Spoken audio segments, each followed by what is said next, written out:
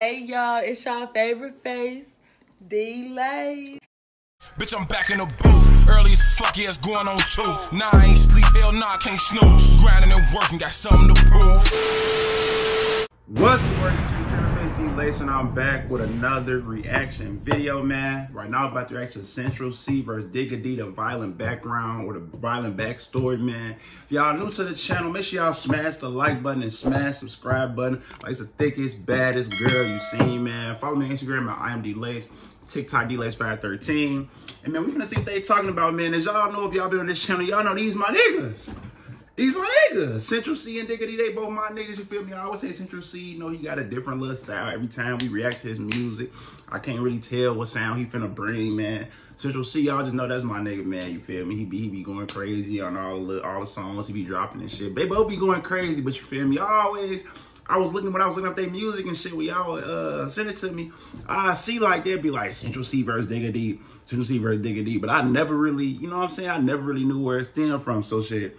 I guess we finna say, to see today, man. So let's let's get right into the video, man. Let's, let's see if they talking When we look at the UK drill scene and its numbers, No, y'all know. to see who's at the top of the game right now. With Central Cee hitting number one in the charts with his new mixtape 2-3, and Digga D securing features like Moneybag Yo, no one else in the UK scene is really doing what they're doing right now, which becomes even more interesting because these two have a long history and not a good one. What's up, guys? It's your boy Kid Nerd back with another. And it's video. crazy. It's always like the biggest artists from places always gotta have some fucking beef, bro.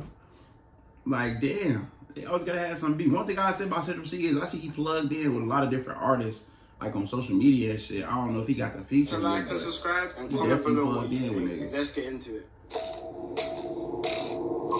Which one is considered like the bigger artist though? I feel like it's Central Cee, but shit, I don't think Digga D's too far behind though. I don't know. We finna see though. We So finna see. today we're taking the story to West London, which is probably the weirdest part of London for so many reasons. So on one side here we have Digga D, who's from Ladbroke Grove, which is located in the borough of Kensington and Chelsea, one of the richest and poshest boroughs in the whole of the UK. But the borough also has the second highest crime rate in London. Famous Ladbroke Grove rapper AJ Tracey explains how it is living in the area in one of his interviews. is an area where we're living in this That name sound familiar, AJ Tracey. Like I heard of him from somewhere. Shit, I gotta get him on the. Has he been on the channel? He might have been on the channel, but if he hasn't, y'all gotta y'all gotta let me know some. Y'all gotta let me know some videos to uh, react to from AJ Tracey. That's crazy. Niggas from the richest part, and they shit, and that shit the second most. Uh, that shit got the second highest crime rate. electricity bill. Right across the road is a family where the youngest chapstick are or 9 something, years old shorty. and a Rolex on. Central Cee was also born in Ladbroke Grove, but is a couple years older than Digga. But Central Cee moved around five minutes away from Grove to an area called Shepherd's Bush, another quite notoriously dangerous area in West London. And you will soon learn why this location switch for Central Cee was important in his feud with the rapper Digga D. Now, Digga D and Central Cee actually went to school with each other. They both attended Chelsea Academy School in West London, but Digga D got kicked out of school in the start of year 8, so the pair didn't really have many run-ins with each other at school. And Central Cee was quite quiet and low-key in school, so he probably wasn't easily noticed. But from school, both rappers took completely different paths. Central Cee from around 2015 started trying to launch his music career with a song on the music platform called Street Heat, and he even managed to get onto a remix with big East London rapper J Hus in early 2015. Around the same time, he had to support his family, and with his music career not launching yet, he had to get it in another way. He previously had a job at a shoe store, but left less than a month in, and just like many other kids in London, he started the cycle of going to OT to make some fast money. On the other side, in 2015,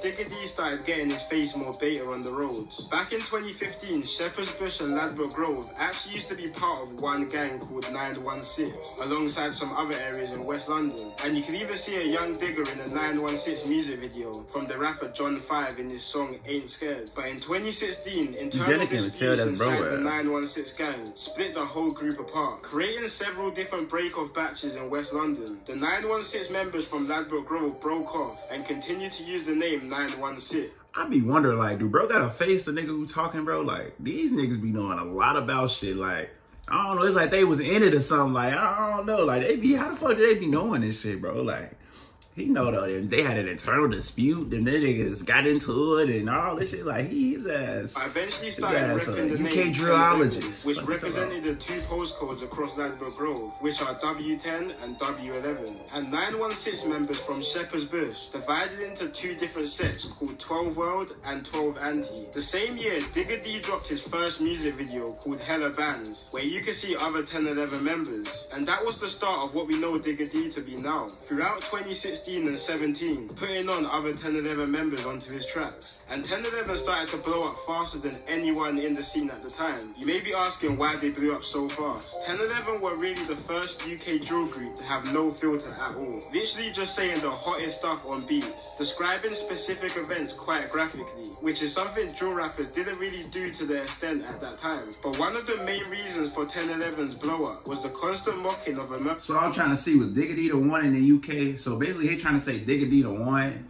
over there that started the fucking like disrespectful ass music and shit. Cause no Chicago and shit, this shit been going on, like or the US, whatever y'all want to call it. But down in Chicago, like that shit, that shit low key been going on. So it's like low key for since for a minute, but it, like 2012 or something. I say like on a mainstream level, but like so this so Digga D is the one who responsible for starting that shit in the UK, huh? So, so y'all gotta let me know that he the, is he the one that started the ew like the ew like not saying their names and shit, or was that what he did at first and then niggas just started like putting like the sirens on there when they said the names and shit? Bro, I ain't, which took I ain't place know in all that. 2017. An opposition member What they say? One of the main reasons for 1011's blow up was the constant mocking of a murder which took place in 2017. An opposition member called T Wiz. So it was April 2017, early in the afternoon, and T Wiz had just stepped out of his house in Norfolk, West London, which is an op block to the 1011 gang. T Wiz was then approached by two guys from an opposing gang called Rayners Lane, who are linked with 1011. And once they spotted T Wiz, they stabbed him in the stomach and ran from the scene. T Wiz then tried to run to a nearby alleyway around 100 yards from his house, but collapsed and died. Digger D and 1011 would mock T Wiz's death in pretty much every song. So two men were put on trial for the murder, one being a guy who went by the name T Rose, but both guys actually ended up beating the murder charge due to claims of self-defense. After being the case, T Rose then went on and made a drill song, not only mocking T Wiz's death, but he went and reenacted the murder in the music video. But stuff started getting hot for T Rose, so he went and moved around three hours away How the fuck? If the, if that shit went exactly like that, how the fuck do a nigga come out the crib, get stabbed in the stomach? If this is how they say happened, he came out the crib and them niggas saw him and they stabbed him. How the fuck do you get off for self defense? Then you reenact the these niggas. Hey, they, ah, y'all UK niggas different. I ain't gonna lie. Then these niggas reenacted the motherfucking scene. Hey, y'all different. north of England. Nah, real different. I don't give a fuck, That didn't stop anyone because T Rose was shot five times and killed in broad daylight, even after moving to the other side of the country. But Damn. His ass tried to get up out of there. They caught his ass. Damn. art of filmmaking. Damn. Let's take it back to 2017. The beef between Digga D's 1011 and Central Cee's Shepherd's Bush was getting serious. During this, Digga D really started making a name for himself with his tune about called No. Hook and his next up track starting to rack up some big views. And even though all of his songs would be featured by other 1011 members, it was clear Digga was the star of the group. And he even started to attract a lot of international attention to the UK drill scene. But with the constant release of diss tracks, the beef was only becoming hotter, which eventually caught up to Digga and 1011 members. While all of this was going on, Digga's gang, 1011, had been getting investigated and tracked on every movement they made. On the 9th of November 2019, Digga and four other members were riding out when their car got stopped near Portobello Road in Ladbroke Grove. Digga tried to make a run for it with his face covered, but he didn't get far and was taken down and arrested by the police, where he was found with a large machete down his trouser leg. One more machete, a knife, and two base Jose say what? what the fuck? I'm thinking they gonna find this nigga with a gun, and so they say a machete and some. These niggas samurais over there, boy. What the fuck? also recovered in the car or on the members. All five Niggas members were around with a sentenced for conspiracy to commit shit. violent disorder, with the older members receiving Young prison sentences. But Digga D at the time was only 17, Oh, so got a lighter sentence of a year in a detention unit. Originally, the members stated that the weapons were for props for a music video, but after the piled up evidence, they all pleaded guilty to their charges. And this could have very much been the beginning of the end for Digga D. They even played his music at court, where they showed he referenced real life unsolved crimes in his area, which caused the police to get YouTube to take down most of Digga D's songs, including his Next Up, which was one of the most viewed UK drill songs at the time, with 11 million views. Damn. Even putting Digga D on Channel 4 News to make an example of him to others. Digga was also slapped with a criminal behaviour order, which prevented him from writing lyrics on his rivals and mentioning dead people like T Wiz. This was quite a turning point for UK drill, because after this we started seeing more and more drill songs getting taken down, which started to cause drill artists to water down and censor their lyrics. Mm, so is that why they uh is that why they don't say shit? Like they kinda just they kinda just ooh, ooh, like they kind of block that shit out on bro. Nah, okay, hey, see, I'm getting a little lesson in this bitch. I always be asking these questions. Hey, I'm getting a little lesson. Hold on. this, we started seeing more and more drill songs getting taken though. down. We started to cause drill artists to water down and censor their lyrics to stop this from happening. Then on October 8th, 2018, Digga was fresh home. Boy, it was nasty. What? You get me? But it just seemed like he still couldn't keep himself out of trouble. Now this is where Central Cee now gets involved in this story. Now at this time in 2018, Central Cee was starting to build a steady name for himself. He was already blowing up on Instagram with his unique type of drip and his pretty boy looks. But his music wasn't quite blowing up yet, with a more wavy type of sound, which was kind of what everyone else was sounding like at Folks, they say with his wavy drip and or is a pretty boy style. this goof ass. What happened on the 30th of November 2018 might have been a big reason due to his quite drastic career and sound change. So Central Cee alongside his brother and some other guys were posted up near a Sainsbury's store on Davisville Road in Shepherd's Bush when they were approached by two males. They started getting into some sort of verbal altercation. One of the males pulled out a knife and stabbed Central Cee's brother just under his left shoulder and then cut from the scene. Central Cee and his brother then went inside the Sainsbury's store where the police came and they started to treat the wound. Two men were arrested for this, one of the men being Digga D. Digga D and his friend were eventually released due to lack of evidence. And Central Cee went kind of MIA for a little while, but Digga just couldn't stay out of trouble. On January the 2nd, 2019, at around 7 pm, police was called to Harrow Road in West London due to a large fight between around 20 people. Harrow Road is the area of another West London popular rapper called Fredo, and also happens to be another area Digga has conflict with. After this fight, it was reported that two men were stabbed from the altercation. Digga, along with two other So tenant y'all just in the UK stabbing niggas, huh? That shit crazy. They got machete just stabbing the fuck out of it. Okay, what the fuck? Y'all that bitch going crazy.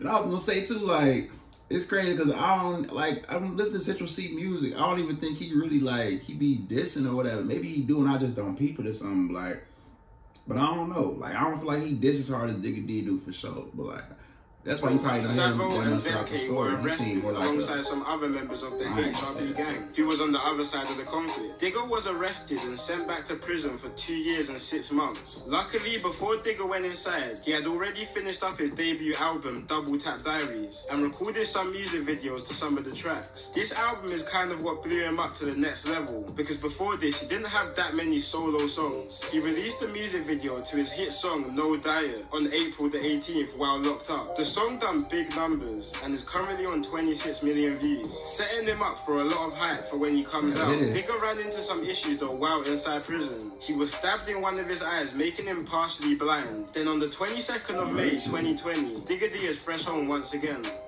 Oh my god, this is beautiful. It's beautiful. I'm emotional, guys. I'm Mercy emotional. partially and comes out with one of his biggest songs yet, a song called Word. This wasn't Word. too far after Central Cee dropped his first big song as well, called Day in the Life, which put Central in the limelight. And Central Cee went from strength to strength in 2020, getting numbers in everything and anything he dropped. But he really Bro. took off after dropping his hit song Loading, which is now on 80 million views. Even Digga D was seen listening to him in one of his Insta lives. And it seemed like Digga didn't really have that many personal issues with Central Cee at the time. But Digga did have problems with a lot of the people in Central Cee's music videos and people around him. Central Cee has many members of the 12 anti-gang around him, which obviously has conflicts with Digga D's side. Not only this, but Central Cee featured on a song with the West London rapper Fredo, who is from an area which historically has always had problems with Digga's area. Ever since then, Digga's been moving kinda wild, talking about the situation with his brother back in 2018 in a couple of unreleased songs. But it seemed like Central Cee wasn't trying to reply to any of Digga D's disses and not give the situation any type of limelight. Until recently when he dropped his new mixtape called 2-3. On one of his songs called End of the Beginning, he sends for Digga D's ex-girlfriend called Tennessee when he says, I wanna hit Tennessee and I don't mean Nashville. Digga responded to this on his Insta, pretty much saying why is he sending shots to his ex and not him. But when we look back at Central's life, it makes sense why he hasn't really replied to Digga. Literally just from the fact he's not really involved in all of this beef the two areas have. Obviously it seems like the two have had their own little bit of history, but I think Central Cee is just at a point of his career where he just wants to go clear and live in peace. Like this guy could easily clear 10 million views a video at this point and is building a fan base all over the world. He's literally a walking, living potential Hall of Famer in this rap game. That's He doesn't need to be involved in all that street stuff. With Digga, it's all a bit different. Digga has kind of thrived off his controversy and bad boy image, and that works for him. That's his audience. When we look at Central Cee's career, he's getting them big views from his songs like Commitment Issues and Obsessed with You, songs for and about girls. So this whole gangsterish type of route he's dabbling with now, in my personal opinion, I think he needs to scrap it. And he could potentially turn into the first international pop star to come from UK drill. Anyway guys, let me know what you all think about this situation. And of course, like and subscribe if you enjoyed this video. It's been your boy Kid Nerd and peace out. See, it's actually crazy. that's kind of how I was thinking of it. Like, he seemed like he, like it seemed like Digga D was the one who really blew up for real first and got a certain type of like fan base already. But Central Cee just came up out of nowhere and he just taking that shit. He got that shit in a chokehold. I ain't gonna lie. It's like I'm peeping too. Like every time Central Cee do a song, like his shit do numbers quick, like real quick. I'm like. Um, bro, and I never really see him really say nothing about Diggity for real, and I haven't heard that song either. So, and if I did hear that, I wouldn't even know what the fuck he was talking about either. But damn, okay, now I know. Now, now it all makes sense. Like why Diggity, like Diggity, yeah, he definitely is a certain way in his shit, and Central Cee definitely is a certain way in his shit. And this is why I can never really pinpoint like what the fuck happened because I don't really see them say much about each other, but I see it's like some passive aggressive shit like. Okay, I see. I see what this is. I see what this shit is now, bro. Talking about the violent bad. I mean, I guess it's violent. Niggas come walking around. This y'all doing money? Y'all walking around machetes, folks? Like, damn. So his ass got caught with a machete up his pants leg. Nigga, how is you running out the car with that shit on, bro? And I ain't know Nigga D been locked up that many times either. He be, you know, not long sentences, but shit, he be sitting for like years and shit. That shit crazy. Y'all like the video, man. If y'all like the, if y'all like the story, the backstory Central Cee, man, Digga D, man, make sure y'all smash the like button, smash subscribe button. Follow me on Instagram, I am Delays. TikTok DLace513. And we out. Okay, bye. Bitch, I'm back in the booth. Early as fuck, yeah, it's going on too. Nah, I ain't sleep, hell nah, I can't snooze. Grinding and working, got something to prove.